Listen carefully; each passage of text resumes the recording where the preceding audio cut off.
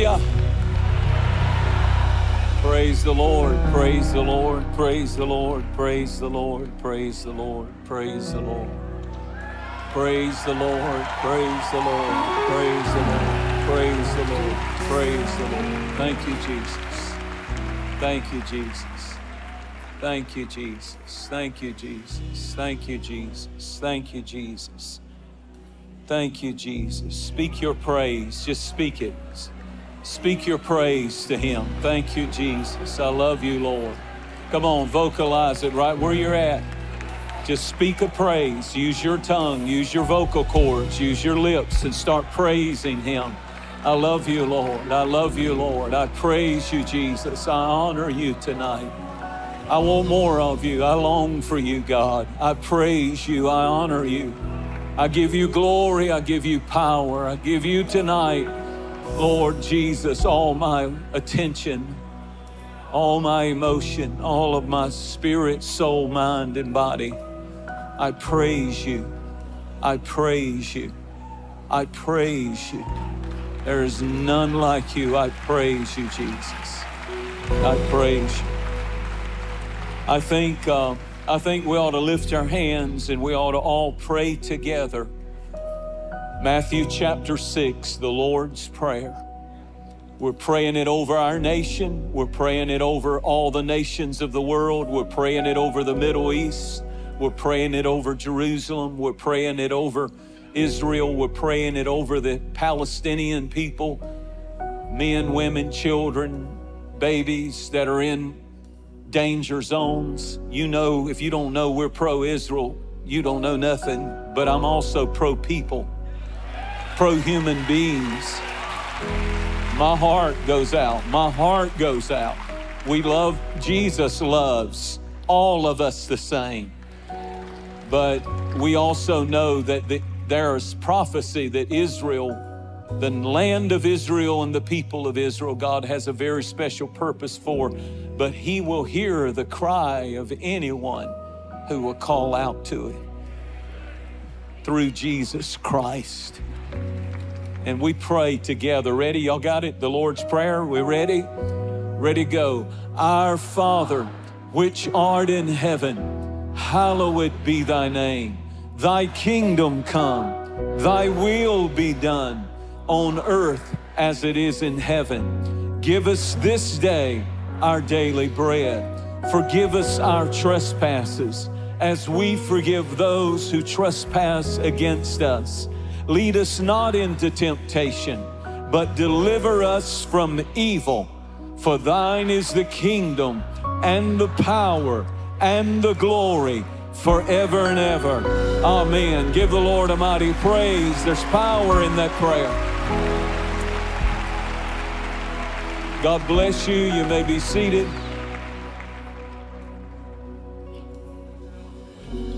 We, we, he just told me that we have over a thousand in the overflow right now. That's pretty amazing. And are we going to do what we said with, with the college students? And okay, so here's one thing we can do. And thank you, choir. Let me hear it for this amazing choir. And man, I looked up this morning, and when I didn't see this side, I, I was like, Lord, I'm a little bit sad. I, I got my cup half full of choir people this morning, but boy, to, to see them back here tonight, beautiful, because they had to go to their campus and do their thing. But um, praise the Lord. Now, how many college college, uh, Free Chapel College students do I have in the house? Raise your hand. Let me see your hand. I need to see your hands. Raise them high. I see about three or four. Looks like seven or eight or nine. Yeah. Well, there's several hundred in there somewhere. I guess they're all around. I need you to do something for me, if you will. Think about it, pray about it. And how many of you are regular at uh, at Free Chapel Youth uh, on on Wednesday nights? Let me see your hand. Okay, well, there's a good group. Um, I'm trying to figure this out. You think we'll be okay with that? All right, I'm going to ask y'all to do something. If you want to, it's going to be real different. But we can allow you to sit up here around. And I asked Perry if he wanted to do this, and it was actually his idea. So if you want to come, don't stampede. But if you want to come and it's a hard floor. You don't have to, but if you want to give your seat up for some people out there who are still coming in, wanting to get in, so be it. And just kind of give a perimeter, you know, like this. Leave your phone in your pocket. I don't want no phones up here. I don't want no texting up here. I don't want no uh, nobody doing selfies up here. No, no, no, no, guys, right here, just just around. Is that, huh? Oh, they can sit on the great idea. See? See, there you go. Great idea. And some of you go this way. There's a bunch of them over there too, guys. So maybe you and your girlfriend won't get to sit together, but it'll be all right. So, hey, here comes the people now. Good, good, good, good. Isn't that a, God, Jehovah Jireh made a way for you?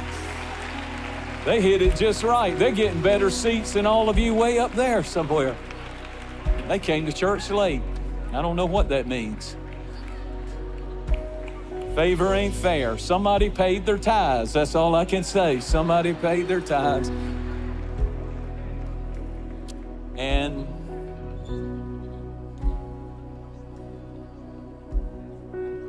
yeah, it's cool. Yeah, okay. Uh, if you run out of space over there, sit them behind them. And, you know, just sit them. You're probably going to have to sit on the ground, and good luck with that. But, uh, the, but, you know, we figured young people can do that a lot better than old people. Say amen, somebody. I think we've got about all we can get up here, just about, but I like this. Should we, is that boy, I got to, we got we got to stay in good favor with the fire marshal. Amen. That's all I can see right now. Bless him, Lord. Bless him. We appreciate them, don't we? We appreciate people who look after us. We really do. We really do. They're so important. They're so important. This is awesome. What a tremendous problem. On a Sunday night.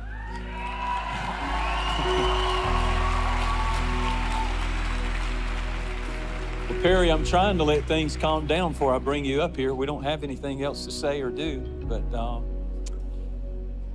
amazing this morning what the Lord did, and we're so thankful to have all of you here. If you've never been, welcome to the revival. It started last Sunday night just like this, and we have not let up, and uh, we're just going to go on and go through Wednesday night. We'll just go on and do it. I don't, I don't have any reason not to. And, and so we'll see what the Lord wants to do. But we're going to give it all we got. I can't promise you anything beyond that, but I can tell you we're going to do that. And you might as well go on and commit. And you know, y'all sit down so they can uh, find the seats. Amen. But uh, but um, but the beautiful thing, the beautiful thing is this thing is is hitting. And look, I'm not I'm not crazy. I got kids. I got grandkids. I, I like to have a good time. I like to have fun with my children. Good good clean fun. We don't celebrate witchcraft and witches and demons and devils, but but I like to have fun with my kids and I like to have memories with my kids. But this isn't a normal little deal here. And if the Holy Ghost wants to interrupt anything going on, like Halloween Tuesday night, He's welcome to do it. We'll figure out something for our children downstairs that is, is Holy Ghost, not, not, not haunted. And, and uh, we, will, we will just have a good time. But I just got a feeling that this is a divine setup, even even this week, is a divine setup. Who's on the Lord's side?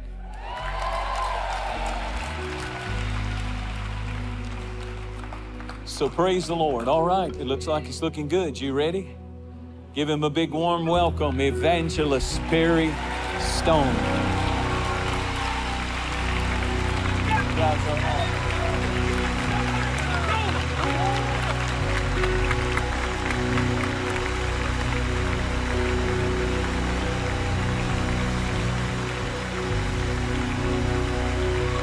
Well, what a give it give it to the Lord. Come on, give it up for the King of Kings. Amen.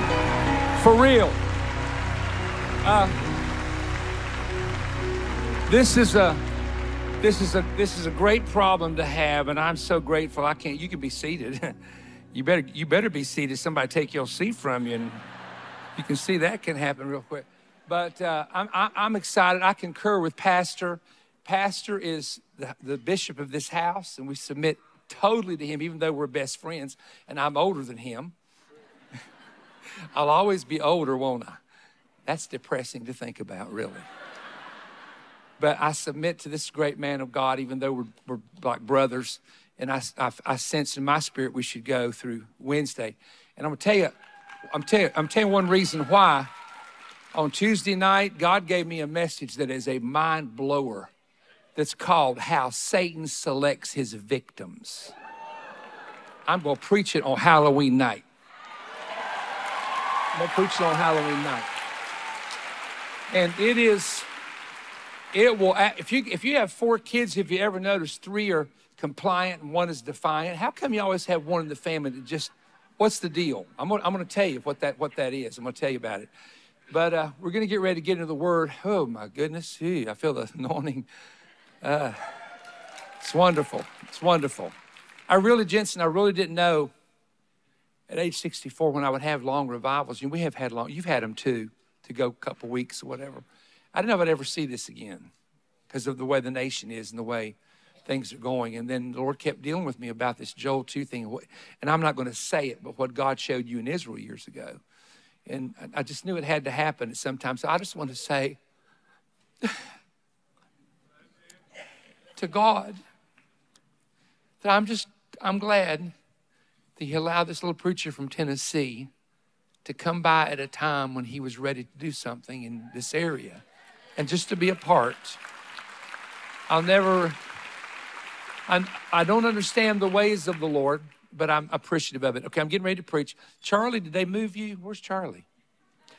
Okay, can we get a little camera on Charlie real quick, just so you'll know if you if you're here.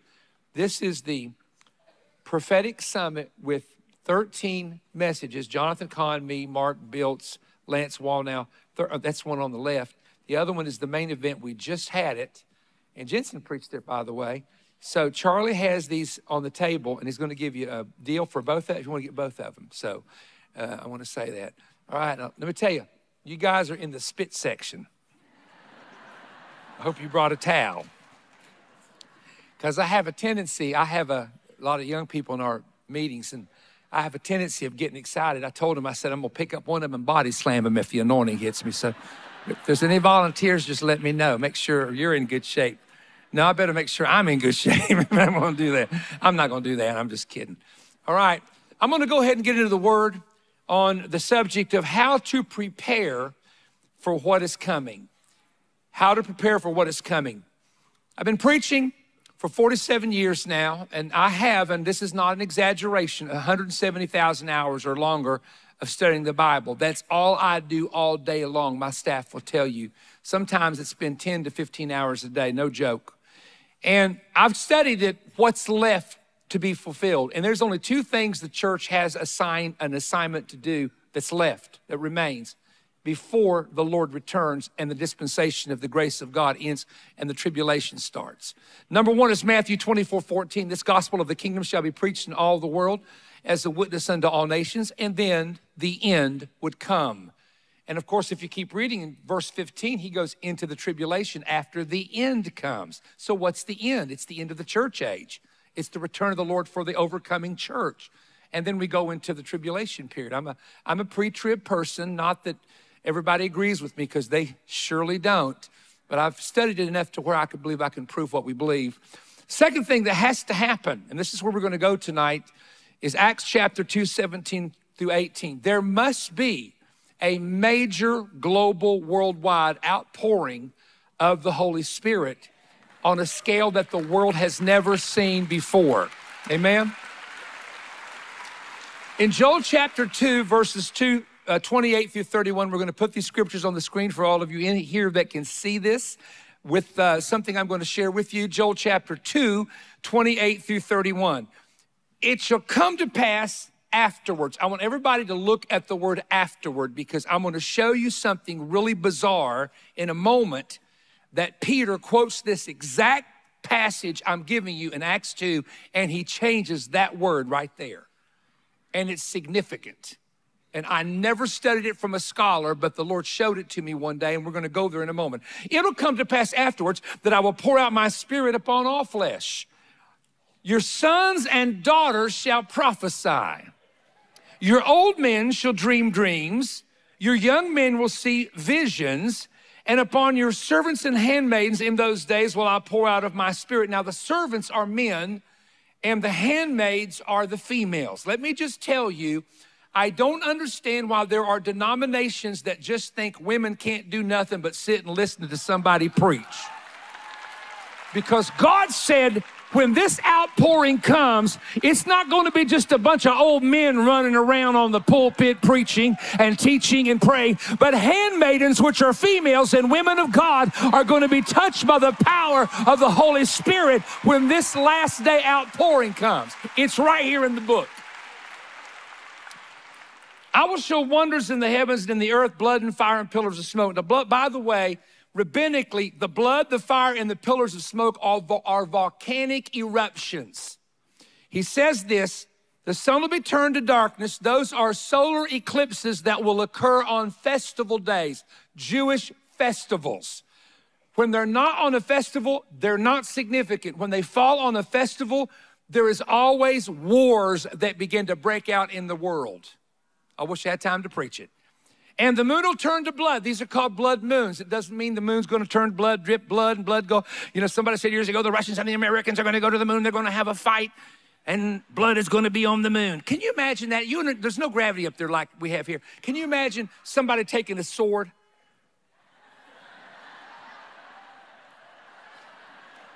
Slow motion. A moon, the moon turning into blood are lunar eclipses that happen on Jewish festivals.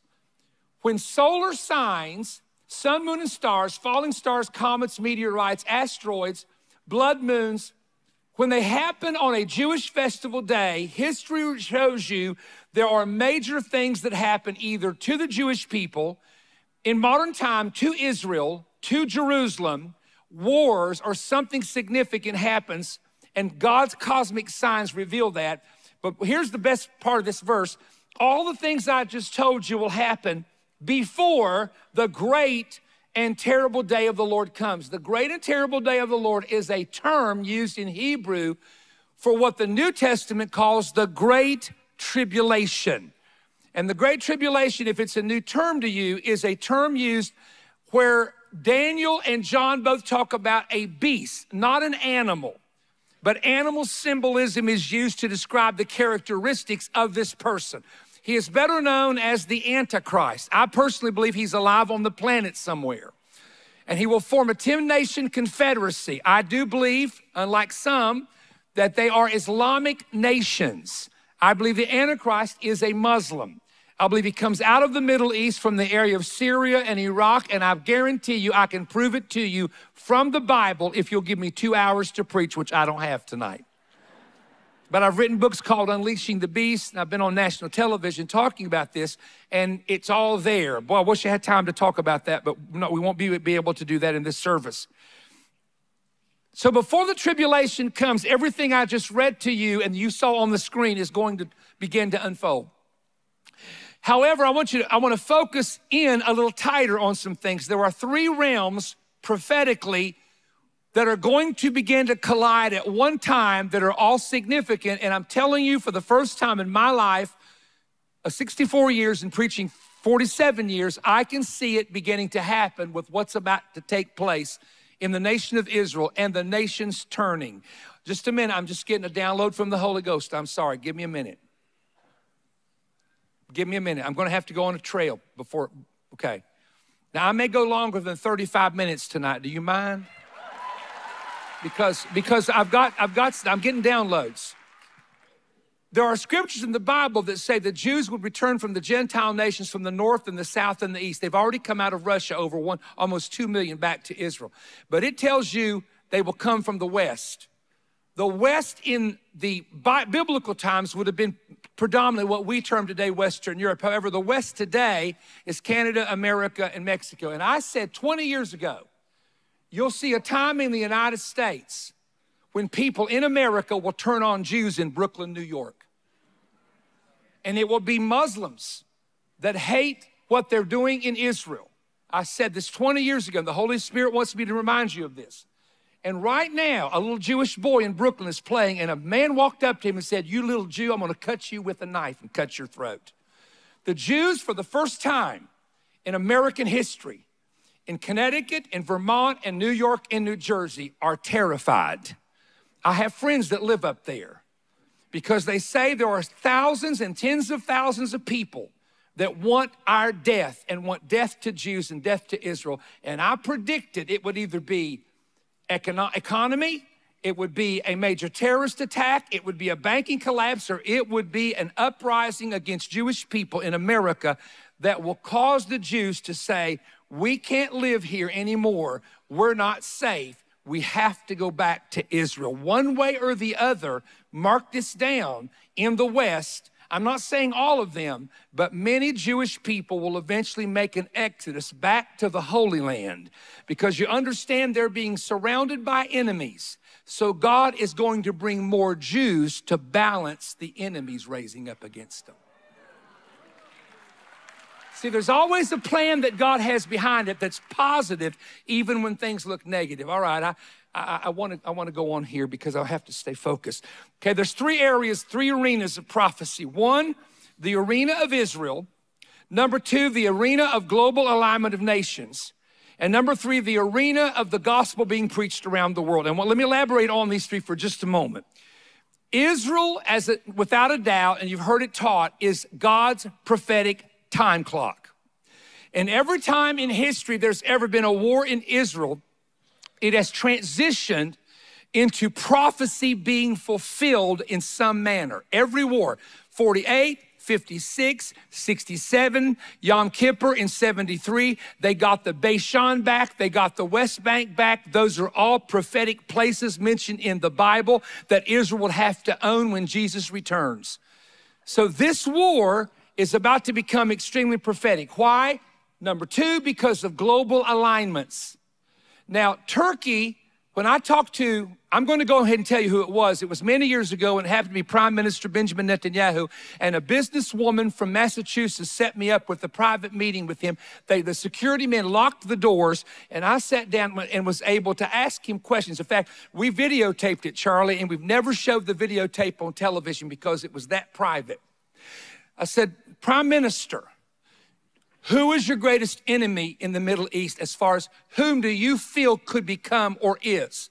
I thought he would say Syria, Iraq, Iran. He listed none of them.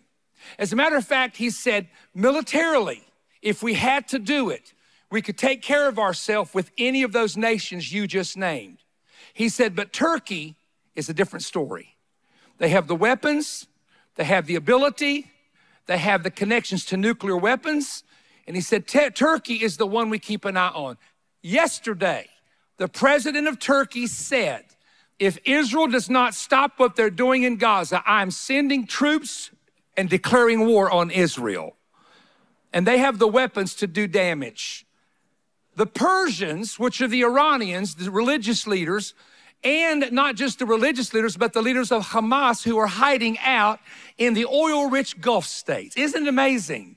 All these guys that run the terrorism are living like kings off of people's money while they're letting other people die. Come on, talk to me, somebody. But they met with Putin in Russia. Why is that significant? Because Persia is the leading nation in the biggest battle that preachers have been telling you about for 40 years called the War of Gog and Magog. Togarmah in Ezekiel 38 is the, is the nation of Turkey. All you need now is Libya and Ethiopia to turn against the Jewish people and start talking about attacking. And ladies and gentlemen, you and I have the possibility of Ezekiel 38 and 39 happening. And I've told men and women for years, it's the only place in the Bible that mentions seven years of burning weapons, which is a seven year peace treaty, which could be the treaty of Daniel 9 27, which becomes the treaty of the Antichrist. I'm, I'm trying to tell you that's how close we are to all of this wrapping up that we've been preaching for all these years. Somebody give God a praise for the fact that we're living in the times. It's all happening. Now, the third thing is the gospel arena. The gospel must be preached around the world, and then the end would come. But when this awakening, when this, when this gospel is preached around the world, something happens. Something is triggered. And I want to tell you something. This is not normal. What has happened this week does not happen in America normally. But Mississippi has a revival. Auburn University has a revival. 2,000 baptized in water. Somebody said to me, What on earth is happening? Asbury had a revival. Up in Kentucky, 40,000 people showed up. They had to shut the revival down because the town couldn't hold them. What is happening? Let me tell you what's happening. God is going to shake the earth one more time, shake your heart one more time to get you ready for the last days for what He's about to do and for the last day harvest because it's not God's will that anybody perish. So he's trying to get young people, he's trying to get your attention while you're young. He's trying to get your attention right now. You're a part of ah, Jesus. You're a part of what I'm about to tell you. And you better be excited when you hear this in a minute. So, what does God do? He sends three things revival or an awakening, or an outpouring. Sometimes they're all combined, but many times there are three different things. A revival is to revive the people of God, to take the lukewarmness out, to take the carnality out, to bring them back into a full relationship with Him. Awakenings don't just happen to individuals, but awakenings happen to entire regions. As a matter of fact, the Great Awakening in America happened in the state of Massachusetts many years ago, and 50,000 people were converted over that during that one awakening with Jonathan Edwards. The third thing is the outpouring of the Holy Spirit. And outpourings not only happen in areas or regions, but they will happen according to the final one globally on all flesh around the world at one time. When they happen, there is a renewing of spiritual gifts there is a renewing of faith and there is a joy. Did you know the Bible says in Samaria when revival broke out, there was great joy in the city? When revival breaks out in Gainesville, it becomes the talk of the town. And people aren't biting, backbiting and criticizing and complaining. They're talking about what God is doing. When God shows up in a town, there will be great joy in the city, according to Acts chapter 8. There have been in the Bible, there were five revivals under Hezekiah, Josiah, and Nehemiah. Nehemiah said, Revive thy works in the midst of the year. Under Elijah in Samaria, five revivals broke out. In the Bible, one major awakening occurred. It was the city of Nineveh. The entire city repented, the whole city was awakened. Scholars say there was about 150,000 people living back then in that city. There was one major outpouring. It was the day of Pentecost in Acts chapter 2 where 120 were filled with the Spirit before the day was over, 3,000 were saved, before the week was over, 5,000 more were saved. Acts chapter 2, verse 4, Acts chapter 10, 45, Acts chapter 19, 1 through 7. God began to pour out his Spirit in the first century church, but one major outpouring hit at one time and one place and went from Jerusalem, Judea, Samaria, and around the world. Let's talk about America because that's where we're from. In the United States of America, my research indicates that since the time of World War I, actually prior to World War I, let's say for the past 120 years, that revival comes about every 20 years on a cycle. We call it a revival cycle. Now, they come in regions, they come in area. For example, Brownsville was a revival that came to Pensacola. So people came to Pensacola to be a part of the revival. There have been other revivals break out over the years, but about every 20 years, there'll be a great move of God somewhere. There have been five awakenings in the history of the United States. Some are very large, some are lesser known, some are in history, some are not. In the United States, there have been four outpourings. I'm going to give you the history of these four outpourings of the Holy Spirit. 1898 in Murphy, North Carolina, in that region. 1900 in Kansas City. 1906 at Azusa Street. 1967 during what was called the Charismatic Renewal. 1898 was the birth of Zionism, which led to the reestablishment of Israel as a nation 50 years later.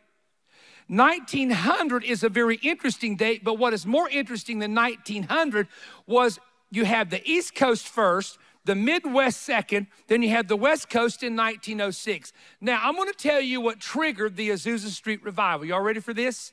And I found this out when I walked into a bookstore and pulled a book out that was written after a major earthquake took place called the San Francisco earthquake. April of 1906, San Francisco shook to the ground. Thousands of people were killed. Gas lines busted. The city burnt. And the word was out. I don't know if you know this, Pastor. The word was out that the next city to be destroyed would be Los Angeles, California, because they realized there were fault lines in California. And in California, in 1906, a black preacher named Seymour started preaching at a house and they got to shouting and the house, the, the porch fell in. And they had to go to a livery stable and they started a revival that actually went on not seven years, it went on 15 years. And it was called the Azusa Street Revival. And thousands and hundreds of thousands of people came to that revival, were filled with the Spirit, many saved, and missionaries went around the world. But that revival was triggered by the fact that Los Angeles was terrified that they were next. So here's what I'm going to say history indicates that most awakenings, most revivals, and even outpourings come in the midst of a nation or an area or a city where great fear has come of what's about to happen. So, why is America stirred right now spiritually? Because they saw a war with Russia and Ukraine, because they saw the possibility of China attacking Taiwan, because they saw Israel and what happened to the Israeli people, and now what's happening in the Gaza Strip. Listen to me very carefully. I want, I want to make this very clear. Practically every revival comes during either an economic, social, political, or military crisis. And many come, and I feel the anointing with what I'm about to tell you. I can sense it building. Many come before a major war happens that affects the nation. Mm. The Great Awakening preceded the Revolutionary War that the United States encountered. A great awakening, believe it or not, preceded the Civil War, and you don't get this in history unless you study the right history. Both the northern armies and the southern armies were baptizing their soldiers, singing hymns, and having revival in all of the camps because the boys knew they could die in the war. That's in history. We were a divided nation in this civil war. 620,000 were killed, but 300,000 soldiers converted to the Lord during the time of the civil war. When they died, they would have gone into the kingdom because of their relationship with Jesus Christ. One of the great awakenings, even the Azusa Street, lasted up until the edge of World War I. In 1948, at the end of World War I, came the healing revival. There was a great awakening called the Charismatic Movement after the Six Day War of June of 1967, where Israel got the Sinai back, they got Jerusalem back and reunited it as the capital. They got the West Bank back, which today is in the hands of the Palestinian authorities. Israel still oversees it. They got the Bashan back, or the Golan Heights, which also is a part of prophecy, which was owned by Syria. And they still have possession of that with military bases today. And that's why Hezbollah is shooting missiles there because Syria wants that territory back. So I'm trying to say this to you. Please listen to me. Why does God begin to send awakenings and revivals to a nation. And please hear me because he told me this. I said, Lord, why do you do it? And why does it seem to happen before a major crisis, before a war breaks out? And he said, Because I want men who are going to battle to hear the gospel so that if they die in war, they don't die lost. Oh, wow. Oh, God goes to the extreme to make sure you have a seed in you that when you get in trouble, that seed of the word, the gospel, who Jesus is, He's the Son of God, He's the Savior, that it stirs back up in you all of a sudden. So His interest is souls and harvest.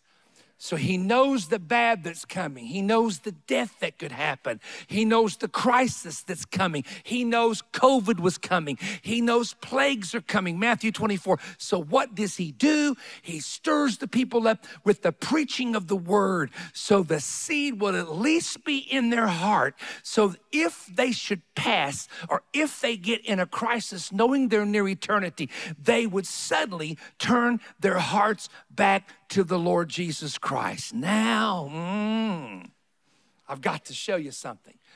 I want you, gentlemen, to bring up again Joel chapter 2, uh, the verse that I had in the beginning, 28, 29, right in there. And let's read this. And then in a minute, we're going to go to Acts 2.17. But first, let's go to Joel. Everybody say this. Read this with me. And it shall come to pass afterwards that I will pour out my spirit upon all flesh. Your sons and your daughters shall prophesy. Your old men shall dream dreams. Your young men shall see visions. Okay, let's hold it right there. Now let's flip it over to the New Testament.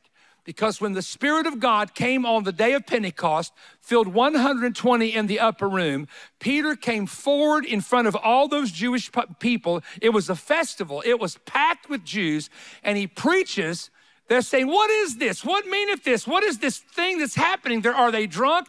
Peter says this in Acts chapter 2, verse 17. Here's what he does he quotes the book of Joel.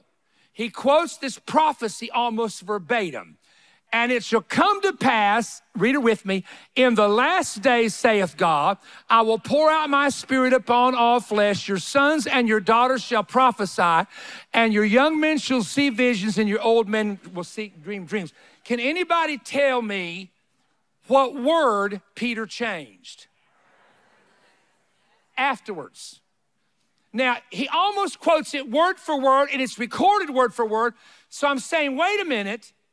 Why does he say last days? All right, let me take you now that verse from a more liberal theological interpretation of maybe a, a, a, minister who went to a theological school that does not believe in the Holy Spirit being poured out today. We read that verse as full gospel people and say, God's gonna pour out his spirit upon all flesh because the Bible says so. So we look forward to what? A revival.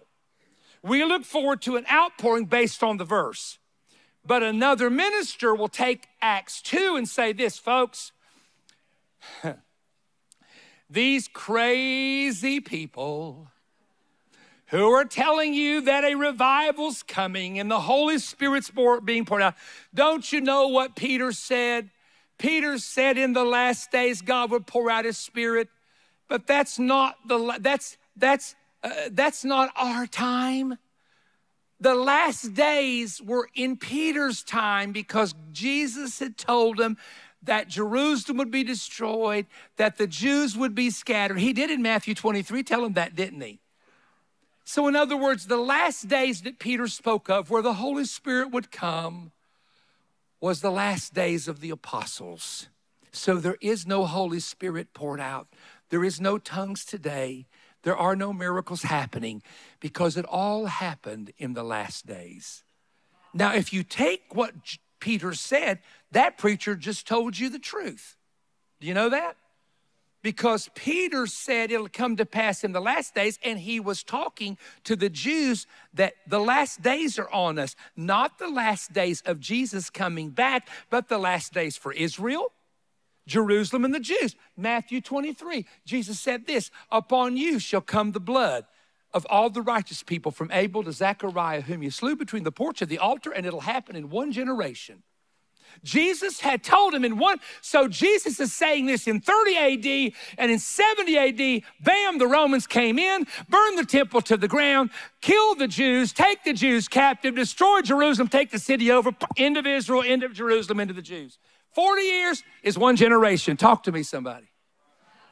So Peter was right.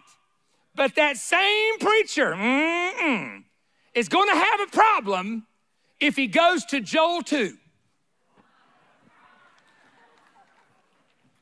Because there was a reason Peter changed the word afterward to last days. Because he knew Jerusalem had 40 years left because 40 years was a generation. So he's telling them, You're seeing the outpouring before the destruction comes. But let's go back to Joel, guys, in Joel 2. Well, well, well. Dear preacher, it'll come to pass afterwards that I will pour out my spirit on all flesh. And stop. Go down there to verse 29, I think it is, maybe it's 30, and it says this, and all of this will happen before the great and terrible day of the Lord. That's the tribulation. That has not yet happened.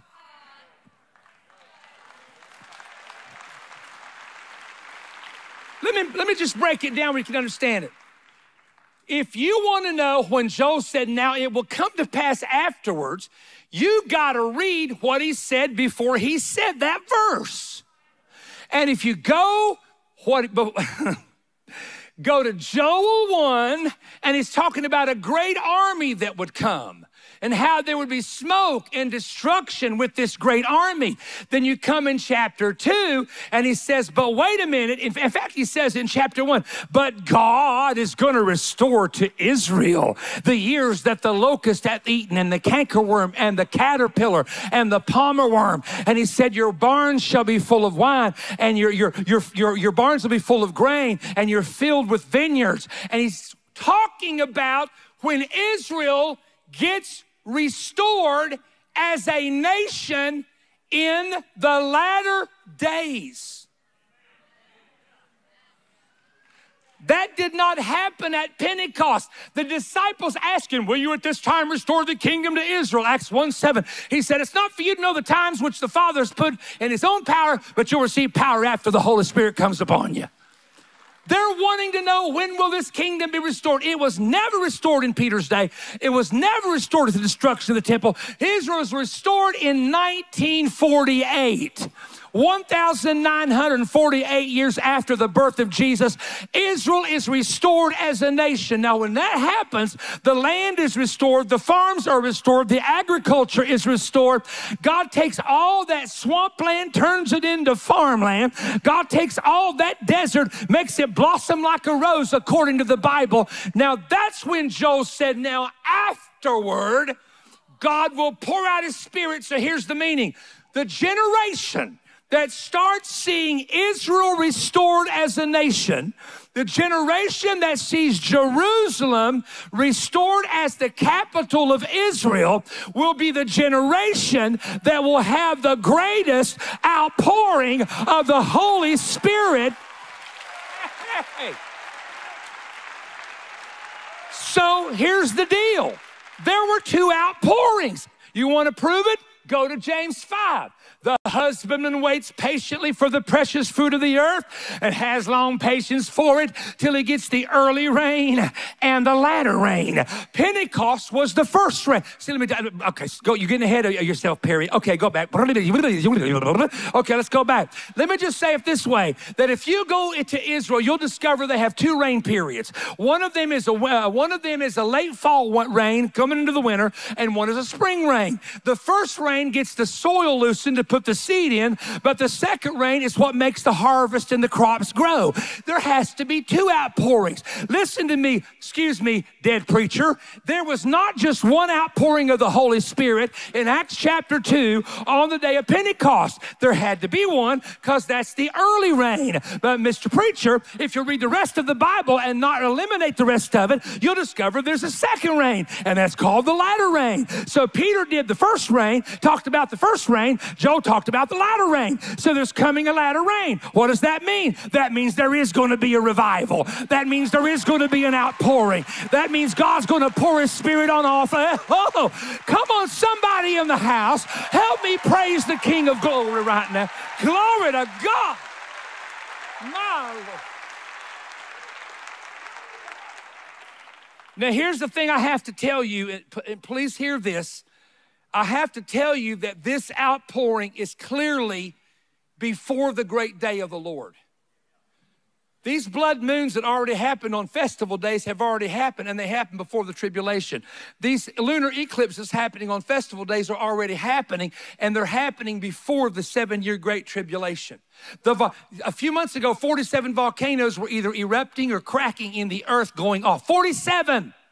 Blood, fire, pillars of smoke sun to darkness, moon to blood before the great and terrible day of the Lord. So before the tribulation comes, this is good news.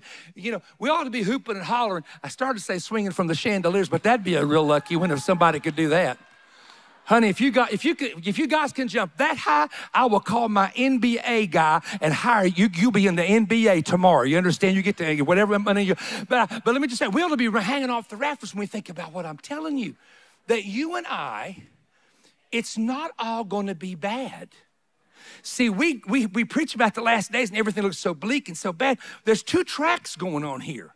There's this really doom and gloom and tribulation and war track. Then there's this gospel being preached, Holy Ghost pouring out, joy of the Lord. The joy is my strength, righteousness, peace, and joy in the Holy Ghost. Hey, there's two tracks going on here. And so, what I want you to understand, and you got to, re- I want you to really gra- grasp this, is the sign. One of the signs that we're going to be into it is the very first part of this verse. I will pour out my spirit on all flesh, your sons and your daughters. That's this generation right here. See everybody, and, and the rest of them out there. See all these young people over here? See all this, let me get let me get them on camera so you can see. See all these young people sitting up here? Look. Look at them. See them? See them? You know why you all need to be excited? First of all, I know the enemy's after you. There's gender confusion. There's same sex relationships. The enemy's trying to kill your identity. He's trying to confuse you over who you are. He's trying to wreck the image of God in you. And the only reason he's really messing so bad with all the young people in the United States and the world with this generation, are you ready for me to tell you why he's really messed up right now and coming after you? He's coming after you because you're the only generation in history of young people that have a promise of God hanging over your head.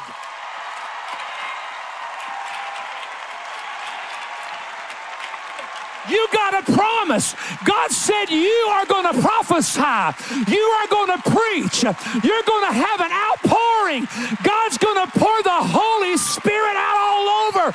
The women, they have a promise and the enemy wants to stop it, but I got news for the devil. Too bad, so sad. You have never been able to stop one promise that God gave in His Word, and you're not stopping this one. Give the Lord the best shout you've given him in this.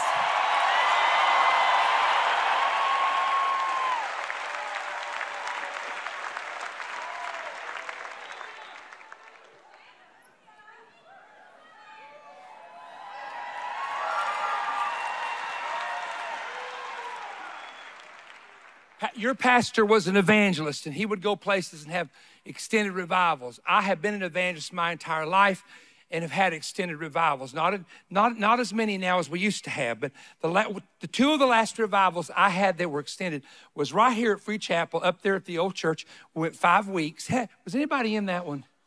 Raise your hand if you were in that one. That was a great one. North Cleveland Church of God, Right after that, five weeks. And then I started going mostly to weekends because of my scheduling. But can I tell you something? Every revival, La Follette, Tennessee went 11 weeks every night.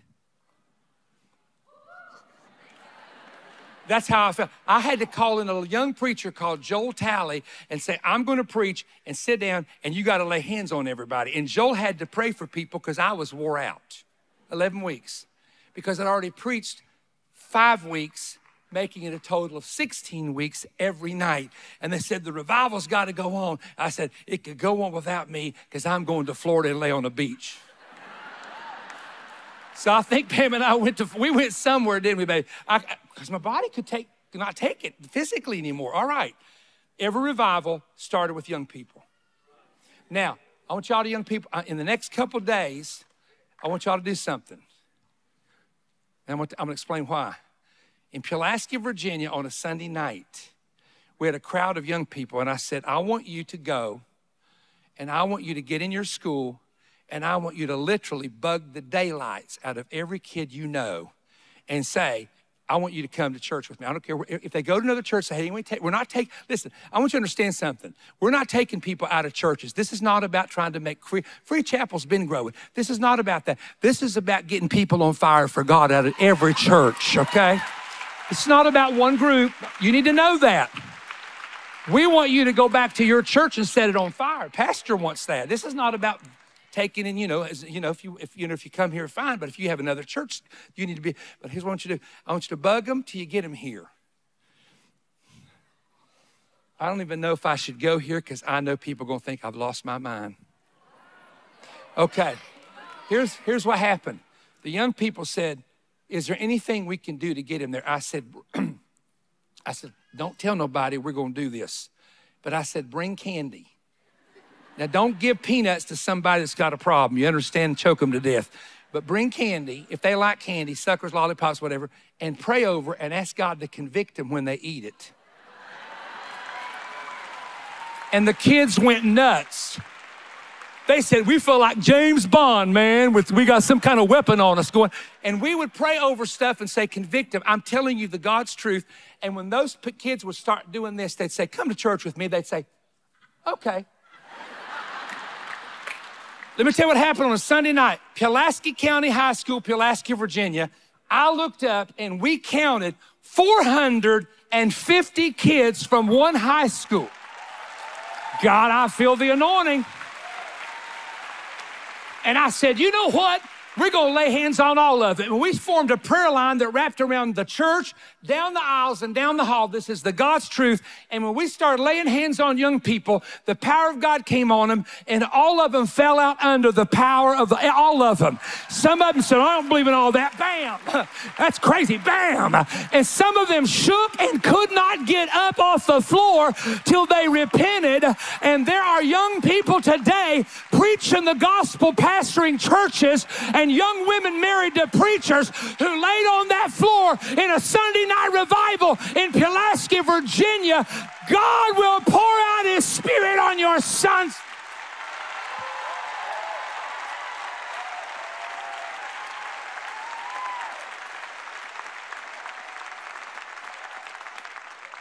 Listen to this. William Booth, who founded the Salvation Army, started preaching in London slums when he was 15. Charles Spurgeon, at 19 years of age, from 19 to 30, formed a 5,000 seat auditorium in London and packed it out and was called the greatest preacher of the century. Jonathan Edwards, at age 13, entered Yale.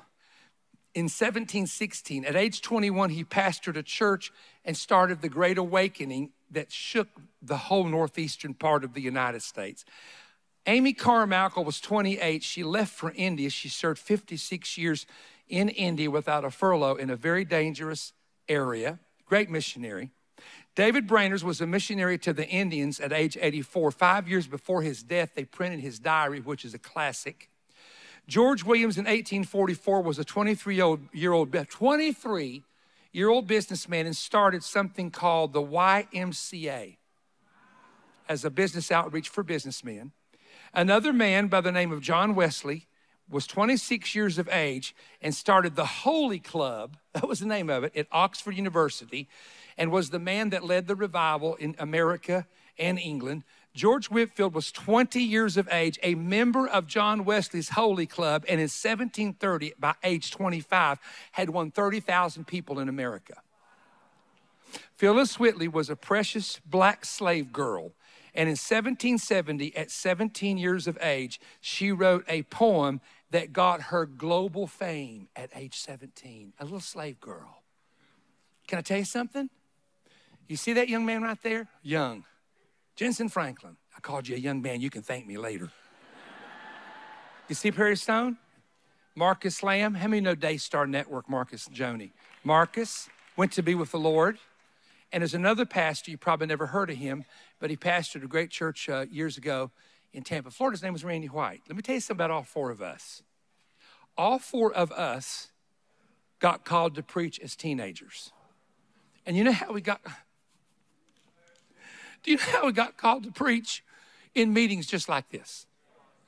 It was the anointing of God that came on us, and we would fall under the power of God, or we'd kneel down and we'd get to pray, and we'd pray an hour or two and couldn't get up. Every one of us were called to preach as, as just as teenagers. Jentezen called me years ago and he said, Perry, I don't want my children to grow up not knowing and feeling what we felt in those old camp meetings and those youth camps that changed our lives. I would, would have never known when Pam and I were married and I go to Gastonia, North Carolina for revival. I saw a young, very thin, dark haired young man playing a saxophone with his brother Richie playing a trumpet. And I said to Pam, I have no idea who that kid is. I'm a kid myself. I'm 23 calling him a kid. But that God's hands on him like big time. And Jentezen sat, they, they preached some, I think. We were there three weeks, but he sat under my ministry way back then. That was before he was ever married. We would have never known in one million years. Traveling to these little churches that sometimes they were so poor we gave the offering back to them. You did it and I did it. I felt more sorry for them than I did myself. little churches with 20 and 30 people there. But you know what we were? Faithful to what God told us. Not complaining. We kept on. And now God's given both of us an absolute worldwide ministry. And Brother Marcus, as you know, started Daystar, which is the, actually the fastest growing network probably in the world, Christian network. Why am I telling you that? Because you never know, sitting on this platform, if the next Billy Graham or the next Joyce Meyer or the next Kari Jobe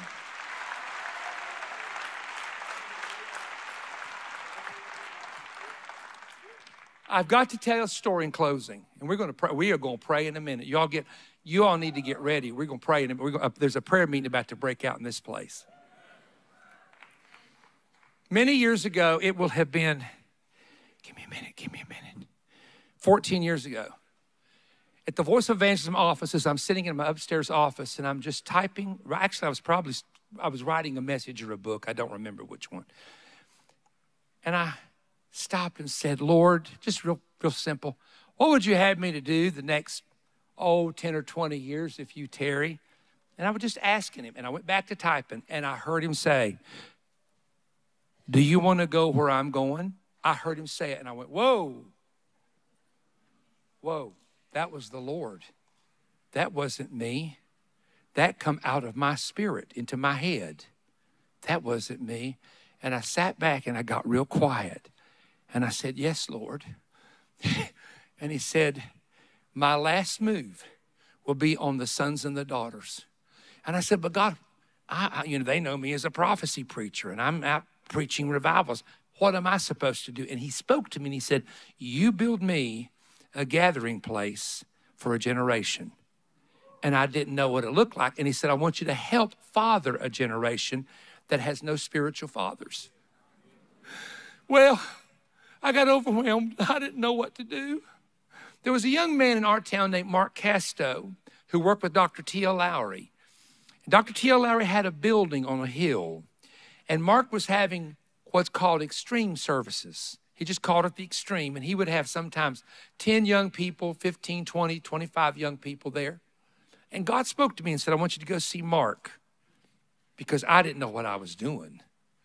I showed up one night and I showed up at that place and I went to the back room where some of them had been praying and I sat in the chair. And when Mark Casto, I didn't know Mark. I just knew he worked for Dr. Lowery. We'd never had a meal together or a conversation. And we looked up, he said, Perry Stone, what are you doing here? I said, I need to tell you something. And he dismissed his youth, and there were two other men in there. Is Ricky here tonight? Ricky Shapiro, are you here, Ricky? In Time News. Where are you at, Ricky? Ricky, they're over in Time News. Great, great groups. A lot of you know Ricky. Ricky, were you in the room that night? That was before you got there. Okay. And I told him what God told me, and he started crying. He said, Jason, it was Jason. He said, Jason, come here. He said, Come here, Jason. He said, Tell Perry Stone what I told you. Now, you got to understand, I never talked to this kid, never talked to Mark, just knew who he was. He said, Well, Perry, good to meet you. I've never met you. You've heard about you. He said, But Mark Casto has been on a fast, and he's been fasting 21 days because God told him to fast for you, for God to speak to your heart to father a generation. I got blown away. I said, Mark, what am I supposed to do? He said, I don't know, come out and hang with. So I'd come in on Thursdays and just hang out. Then he asked me to preach. So we announced it and had 60 young people show up. Now, Jentezen, this happened before God. Before God in heaven, this happened. As we are preaching that night, I'm preaching that night, 60 young people there in that place. I said, There are five of you, not six, not eight, not three. There are five of you called to missionary work. You know it, and you even know where you're going. You know that God has spoke to you, the country. Come up here. And exactly five young people came forward. Now, what I'm going to tell you blew my mind and theirs. I said, Line up. I went to the first one and laid my hands on them and began to pray in an Indian dialect. It sounded like a Cherokee Indian talking. And I did not know her daddy was in the back and he ministered with Indians in New Mexico, the, the tribal people. And I was I was speaking in Navajo, was it? I think it was Navajo, and I was sing, singing a Navajo song over his daughter who was called to the Indian nations in tongues. The Holy Spirit, not me. I went to the second one and it sounded like Japanese or Chinese. It had that Asian sound. And her best friend started screaming in the middle of this. I'm just, ah! And I was speaking the Mandarin Chinese language over her, and she had told her friend that day, I'm called to go to China. The next one was Portuguese. I, I, spoke fluent Portuguese over the third young person, and they had just came back from Portugal and understood what I was saying. God spoke in the five different languages where the five different people were called to be missionaries. And then when I finished, I mean, the glory hit, everybody's crying, and I turned to Mark. This is so crazy. This is just Perry Stone. I said, Mark, I'm hungry. I'm leaving here. Take it. and walked out the door. And he said, I didn't know what to do with it. But he said, God confirmed you were the man to help do what we were going to do. Now, let me tell you the rest of the story. It was during that time, y'all excuse me, man, this is this is gonna mess me up tonight, not in a bad way. I wish some uh, did I bring a hanky, honey? Here, hang on, I gotta have a I was gonna bark from somebody and I'll blow my nose you can sell it on eBay. I'll sign it for you. People do people do crazy stuff like that. I don't know.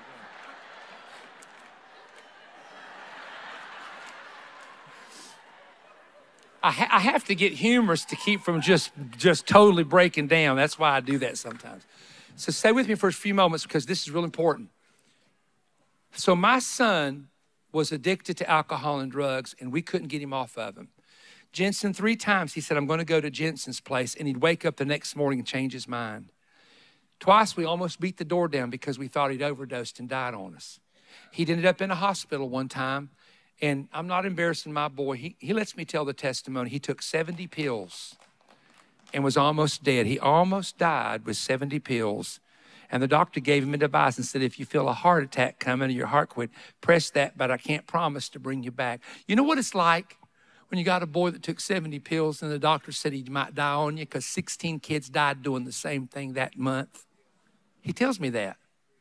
And your son says, Daddy, I didn't take these pills to kill myself. I was just trying to get high. He said, Dad, I really don't want to die tonight. You got to pray that I won't die, Daddy. And I felt as helpless as a little rat running around looking for food, man. I felt helpless. I said, God, if my what if something, something happens to my boy and I can't pray him back? And man, something come on me. Later that night, they put him in a room, and I told the nurse, everybody at the hospital knew me because I'm from town there. So I'm gonna tell y'all something. We're paying for this room, right? Yes, sir. You'll have to pay for the room. He said, I'm laying down beside my son. Shut the door and don't bother me. Yes, sir, preacher. now, you don't do that in a hospital. You don't lay down beside the person in the bed. You know what I'm saying?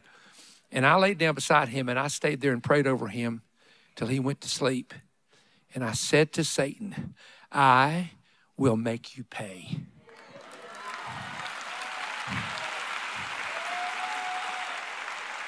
You are going to wish you never touched my boy. You hear me?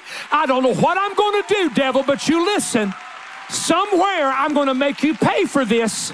It won't be me and my strength. It won't be me. But you're going to pay for trying to kill my baby. And I didn't even know what I was saying.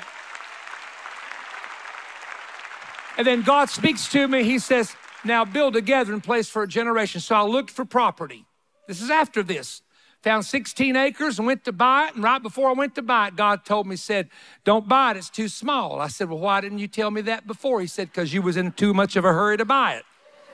You weren't listening to me. So I found 100 acres. It was owned by a really, this, this is a Baptist brother. Now, I'm going to tell you what he calls himself. I don't call him this, but he calls himself a cussing Baptist. That's what he calls himself. Steve Williams. And his, he, he's married to a Pentecostal wife, and he's one of the neat, he's just, he is just one sweet guy. And he says, now, let me tell you something, preach. You got sunglasses on. I saw his, his property was behind me. It was about 100 acres. And I said, Steve, I'd like to buy this from you. He said, It's my boy's favorite property. Don't know I'm interested in selling it. And I got news for you. If you're going to build another church up here, we got 380 in the county, and that's one too many. I said, He said, What's it for? I said, Well, honestly, Steve, God told me to build a gathering place for a generation of young people. And that little Baptist guy did this. Oh, God. Are you serious? And I said, Yeah, I'm serious. He said, You really tell me about it. And I said, I told him about my son. I told him Satan was going to pay. I said, I'm going to build a gathering place for generation. He said, Oh God, I'm afraid I'm going to have to sell it to you. And I said, Why? I said, Why? He said, Because the Lord talked to me a long time ago and told me it would be for young people. And now we're good friends. I said, Well, lo and behold, God does talk to Baptist people. Look at you, Steve. I'm proud of you. he said, Let me pray about it. I said, You sure can. So he went home, prayed, he did Bible roulette. He said, Now, Lord, this is how Steve talked. Now, God, I want to ask you something. I like that property. But if you want me to sell it to Perry Stone, you better show me in the book. You better show me in the Bible. I'm open that Bible. He opened the Bible and it fell to that verse. No man has forsaken houses and lands, but in this life will not get a. He said, Oh God, I got to sell it to him. He's forsaken the land, dear Lord. I got to sell that property to that boy. We bought the property in a recession. It's going to cost me $18 million to build the building, 22 million with everything in it and no bank would give me a loan.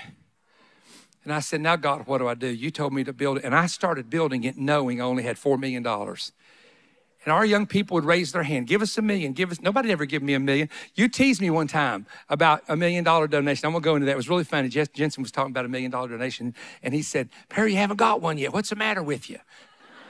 And he said, Are you living right, Perry? Are you living right? You remember that?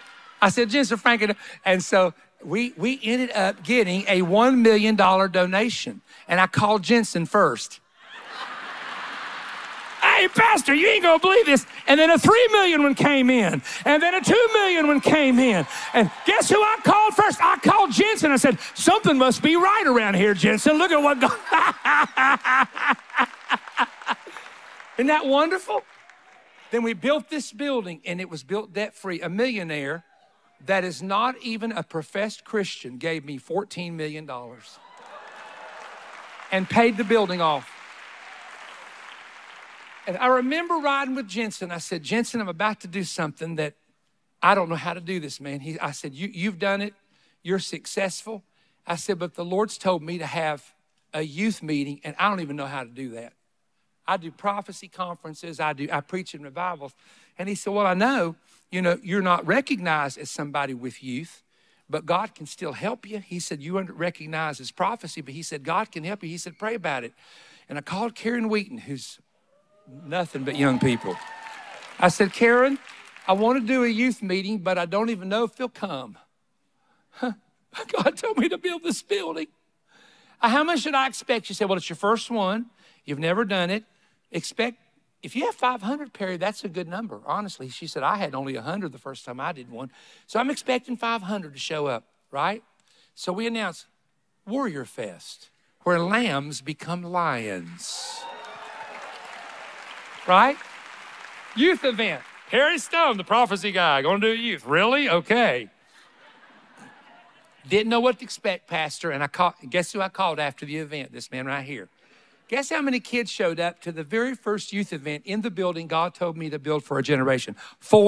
4,000 young people, not 400 and the next year there were 5,000, and the next year there were 6,000. And during COVID, 16,000 young people were scheduled to come to Warrior Fest. But I just want to tell you something to God be the glory. When I stood on that platform and I saw those young people, and every time I see them, and we're going to have another one in April, and every time I see them, and there's no chairs there because we can't put chairs in, they sit on the floor just like this young people.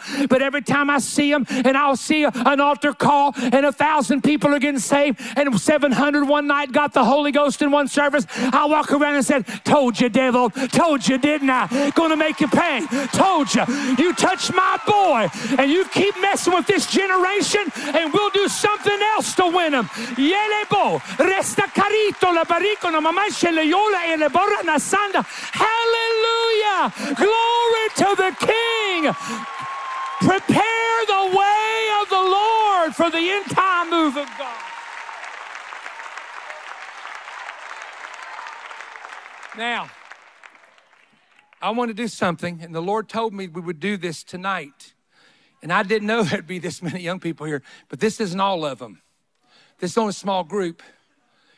At a Warrior Fest on a Saturday night, over a thousand young people were just all over the place to receive the Holy Ghost, and I saw something I've never seen, and it blew my mind.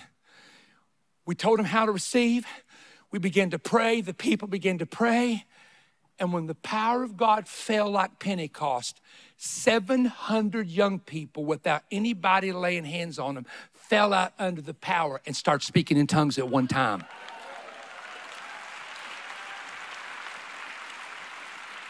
That's called an outpouring. That's my point. Now, raise your hands all over this building and begin to bless the Lord if you're saved. Would you do that if you're a born again believer? Uh, I don't know what God's going to do tonight, but let's bless Him. Let's bless Him. Young people, get your heart ready. You're going to be the ones we're going to pray for in just a minute, plus many others. Lord, Lord, in Jesus' name, many of, the, many of these are going to receive tonight. I know it because you told me. Many in the congregation are going to receive tonight. I know because you told me. Most of all, God, your word tells me. That's what I lay. That's what I lean on. Is what you say. Ah, now, sons and daughters, sons and daughters, every young person, if you're teenage, college age, let's stick with that. Let's stick with that age time frame, and all of you are that part. We're going to pray for God to fill you with the Spirit based on Joel chapter 2. And all you have to do is know you're born again and you're saved by the blood of Jesus. In Acts chapter 2, they were in covenant with, the Jesus, with Jesus, but the Holy Spirit was a second, second experience. Acts 10:45, Acts 19, all of those, they were they believed in Jesus. It was a separate experience. Now, you're all born of the Spirit, don't get me wrong. If you're saved, you're already born of the Spirit, but the baptism is God's power and anointing living inside of your spirit. It's another level for you, right? On the count of three, every young person, and I know there's going to be a crowd, but listen to how I want you to do this. Instead of bunching up, form one line shoulder to shoulder. Leave a little bit of space, form a second line shoulder to shoulder. Leave a little bit of space. So, in other words, instead of bunching up like you are now, form lines. Everybody, you say, Well, Perry, I am filled. All right, if you're filled with the Holy Spirit now, that's fine. If you need to be refilled or you've never received the baptism of the Holy Spirit with the evidence of speaking in tongues, I want all of you on the platform to, to, to, start lining up down here. And then all of you in the audience in the balcony on the count of three. This is young people, this is college age, young people, teenagers. And I would tell you something, we're going to pray for kids that are like 11. Remember when Drake got filled with the Holy Spirit right there sitting in the seat? Remember that? Right here in a revival. All the kids 12, 13, 14, that are not, let's say, late teens like these, you come to. Are you ready? On the count of three, I want you to get down here. Oh, they're coming already. One, two, three. Oh, Lord, look at this. I didn't know there was that many here. Oh, my, oh, my. Pastor, look. This is, a, oh, my. Oh, oh, la dee dee be hey shay. I feel something gonna happen. Hey, hey, hey. Oh, la la ba ra ba shakaria. Oh, hallelujah. Thank you, Holy Father. God, I praise you. God, I praise you. God, I praise you. God, I praise you. God, I praise you. God, I praise you. God, I praise you. All right, when this fills up, just on the edges here, on the perimeters here, if you can kind of keep a straight line, that would be the best thing because we might try to get up there where you're at in a minute. I This looks, this looks like that Warrior Fest night, Jentezen. Now, young people, all of you look this way. This is your moment. This is your season. This is why you've been fought the way you have with temptation and test and drugs and alcohol, and I could name 10 other things. This is why you're fought because God has a promise hanging over you. Now, here's what I'm going to do I'm going to do exactly what I would do in one of my meetings with young people. I'm going to lead you in a prayer of receiving the Holy Spirit, just like we would do it if it was just a regular, like if this was a forward conference or one of our meetings. I'm going to lead you in a prayer, and I want you to pray it out loud. And then I'm going to say, Receive the Holy Spirit, and I want you to let the Holy Spirit come on you. And what will happen is God will give you a prayer language. It'll start inside it sometimes it's just a, it's just a word or two. It's not like a big language like speaking Spanish or speaking Chinese. It just starts out a word or two, and God's going to give it to you. And the moment He gives you that phrase and that word to speak, speak it. I know a guy that said one word in tongues his whole life from Northport, Alabama, and it always bothered him. And I went to Israel for the first time and went to the Western Wall, and I heard a Jew saying that word while he was praying. And it was holy, holy, holy. That's what that man said in the Holy Spirit. When God filled him, all he was saying, holy, holy, holy, holy. Amen. If the power of God comes on you real strong, we don't want you to fall back because, you know, there's a crowd here. And sometimes you get overwhelmed by the Lord. You've had it happen. But go down on your knees and, and keep praying. And if you want to go down on your knees after we pray the first prayer and pray. But everybody, turn your faith loose this is God's will. God wants to do it. Don't doubt at all. Are you ready? Everybody ready? Everybody what about over here? Everybody ready over here? What about here? What about over here? Everybody ready over here? All right. Now, moms and dads, it's up to you not to watch, but to point your hand toward these kids in a minute when I get through praying, and you pray the fire of God down. Up in the, there ought to be enough faith in this place for everybody in this building to be baptized in the Holy Ghost in a few minutes. Everybody, raise your hands. Young people, raise your hands right now. Say this out loud Heavenly Father, in Jesus' name, I'm ready to receive more of you. I'm saved, I'm clean by the blood of Jesus Christ. And because of that, I can receive the gift of the Holy Ghost. God, I ask you right now, take the Holy Spirit, take His power, put it in my spirit, baptize me, fill me with the power of the Holy Spirit. Speak through me in the prayer language that you want me to pray in. You said you would do it. We believe it tonight. Say this, come in now. Come in now, Lord. Can you feel that? Oh, she, oh, oh, oh, oh. Eh,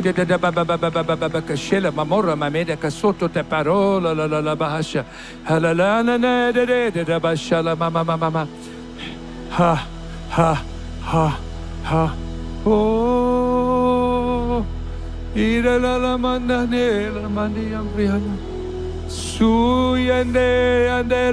feel feel feel oh God feel in the name of Jesus. Oh, namanda yasi koya da da da da da da da da da baya da.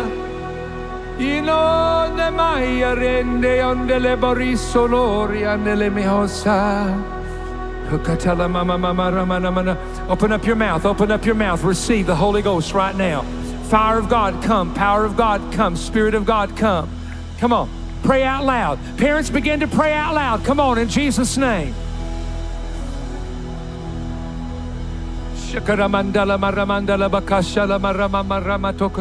Holy Spirit, come. Holy Spirit, come. Holy, come on. It may take five or ten minutes to break through, but go ahead and keep pressing.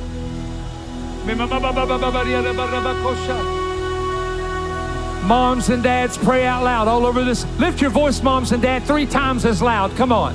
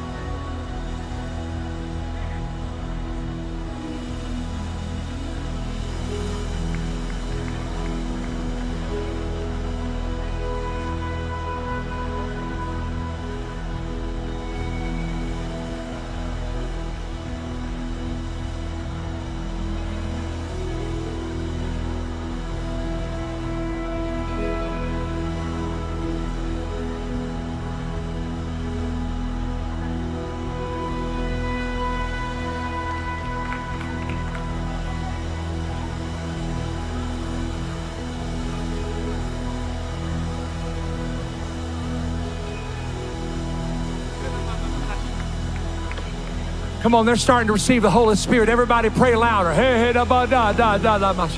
Oh, oh, oh. In the aisle, obey God now.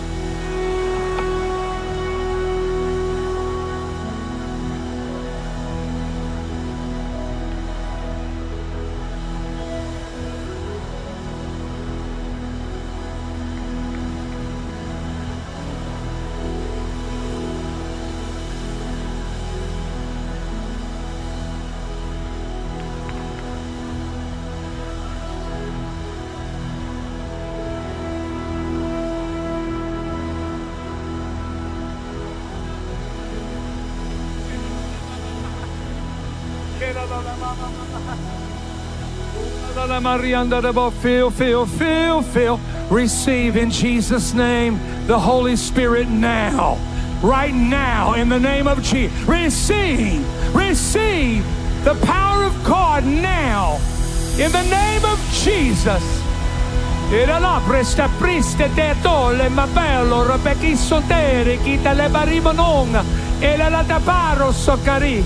Hallelujah. Oh, oh, hallelujah. Young people, come on, break through. Keep breaking through.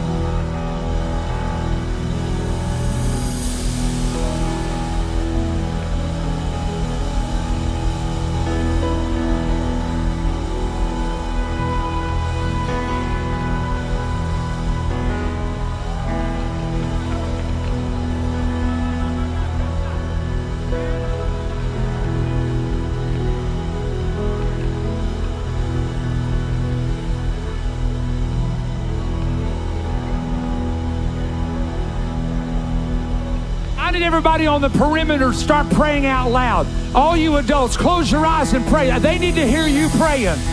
They need to hear your words praying for them. God, fill them, fill them, fill them, Lord. If you want to kneel down, kneel down right where you are, young people. Somebody Hey, hey, hey, hey. If you've been filled with the Holy Ghost, reach out there and pray for one of the young people beside you right now. Woo! God's Spirit is in the house. God's Spirit is here to feel. Hallelujah. Yeah, yeah, yeah.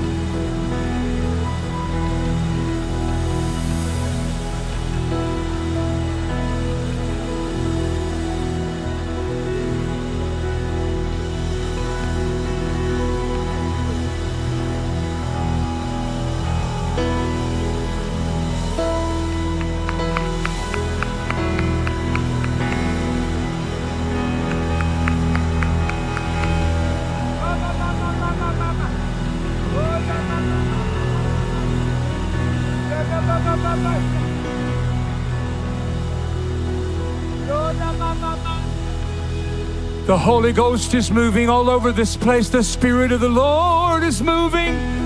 All of my adults that are here, would you just praise the Lord out loud? Close your eyes so you can focus on Jesus. Jesus, fill your young people. Jesus, fill your children. Jesus, baptize them. I break the yoke in Jesus' name by the Holy Spirit. By the Word of God, I break the bondage over your mind. Free tonight. Be delivered from prison and your captivity. Oh!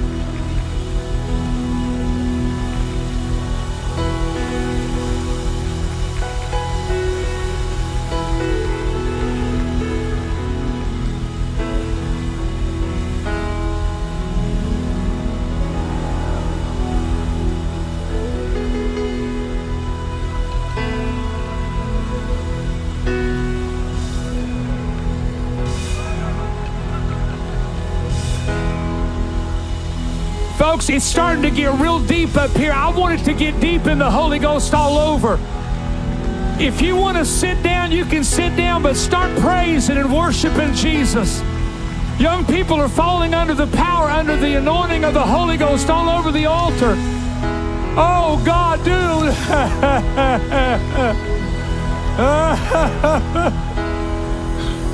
Mani di puritana su che bebana nosa.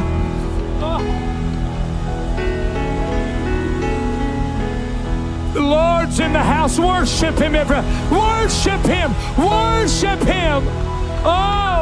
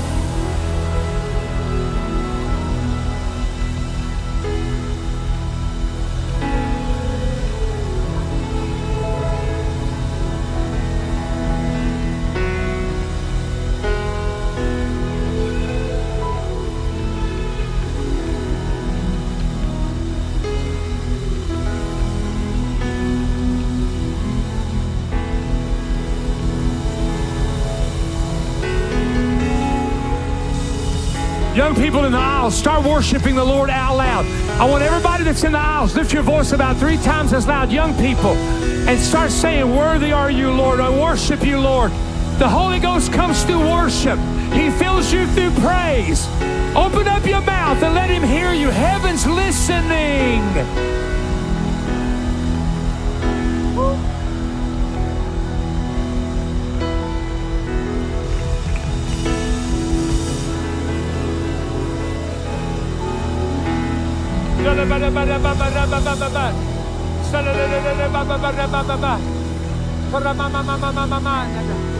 Oh la la la la la la la la la la kasha. Sora mama meneka. Rabba rakasata. Sana babara.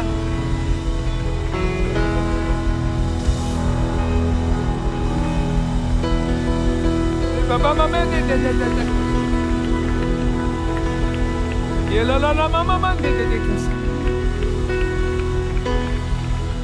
Just get lost in the presence of the Lord, everybody. No rush, no hurry. Just get lost in His presence. Jesus, Jesus.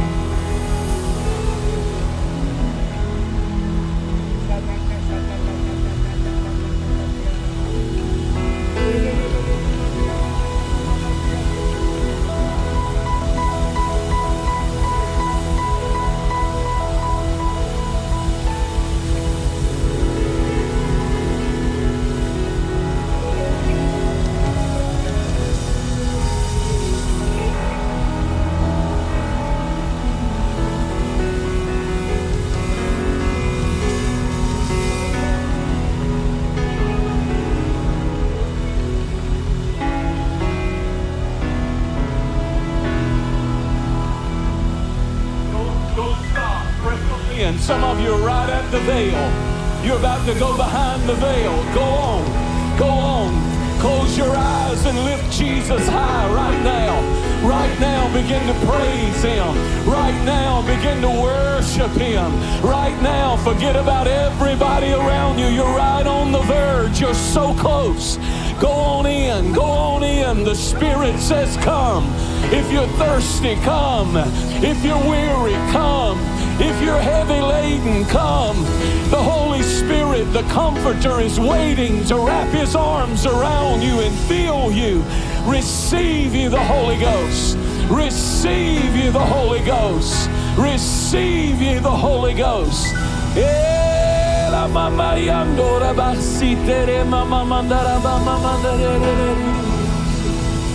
We worship you, Lord. We worship you. Oh, you got to use your voice. Open your mouth and begin to worship Him.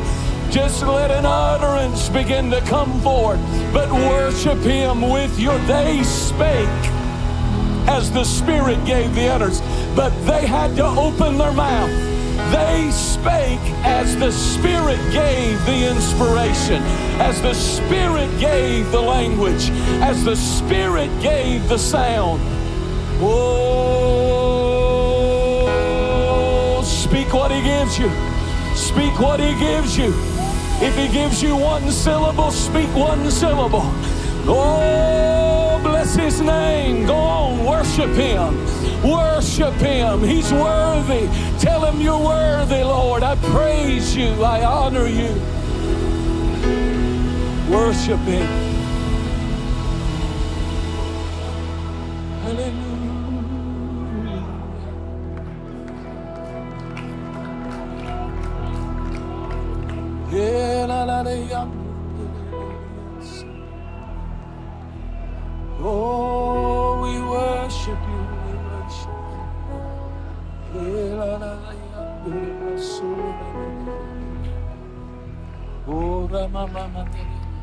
Now, see, this is what this is what has been missing in the church. Number one, hunger, and you're hungry. It's all over you. You're hungry. And secondly, it sometimes means tarrying in the in the presence of the Lord.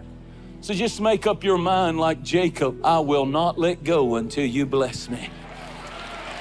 So th- just for the hungry, if you're still hungry for more, throw your hands up. And now really go after it.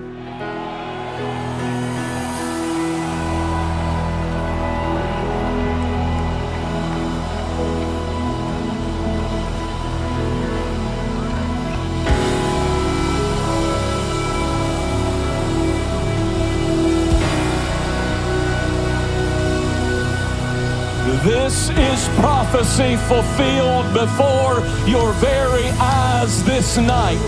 And in the last days, I will pour out my some of you never thought you would see your teenager in an altar like this again. Some of you never thought you would see your grandchild trembling under the power of God again. But God said, I'm in control. The Antichrist is not in control. Hell is not in control. Devils are not in control. God is in control. And we have a covenant for our families. So receive tonight. Receive through the blood of Jesus Christ. He shall baptize you in the Holy Ghost and fire, Jesus said.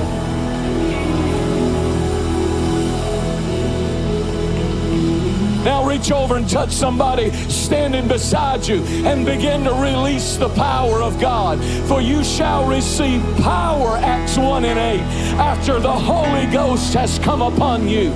Now release that power, release healing, release miracles, release freedom, release burden breaking power right now in the name of Jesus.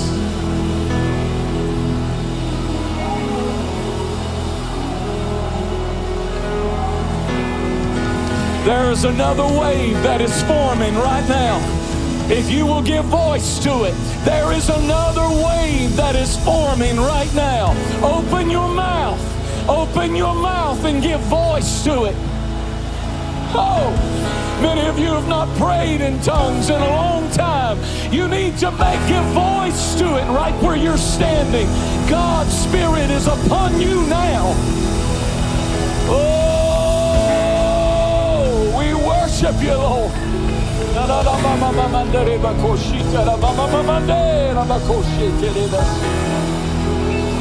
Hallelujah. Jesus. Jesus. Jesus. Jesus.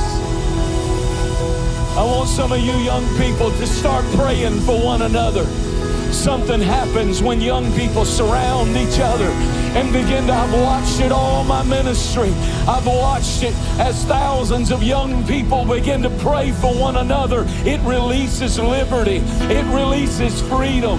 The shackles of low self-esteem and depression and addiction are breaking this very moment this very moment, yokes are breaking, chains are falling. This very moment, by the blood of Jesus Christ, captives are being set free from demonic holds that have told you to kill yourself, to hate yourself, to cut yourself. We rebuke it in the name of Jesus, and it must go. Woo!